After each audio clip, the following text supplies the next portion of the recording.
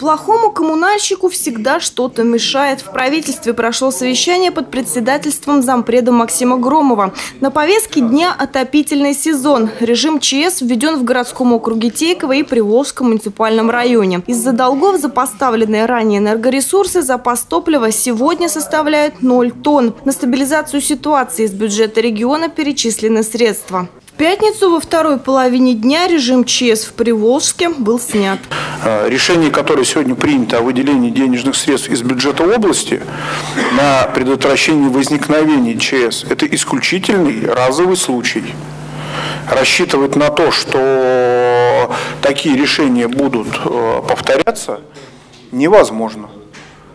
Тот, кто доведет до этой ситуации – Значит, э, милости прошу со мной к губернатору с докладом, какие меры были приняты и кто довел до этой ситуации. В 18 муниципальных образованиях необходимые запасы угля и мазута сформированы. Еще одна тема – получение паспортов готовности к АТОП-сезону. Срок был определен до 15 ноября.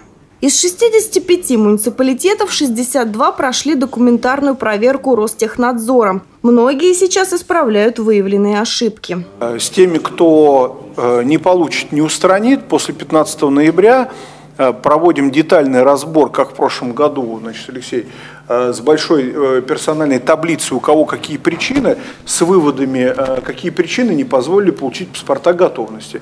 Несвоевременное получение паспортов готовности может обернуться кадровыми решениями. Фамилии тех, кто эту работу саботировал, Максим Громов пообещал лично передать губернатору. Елена Белова, Михаил Кенгуров, РТВ Иванова.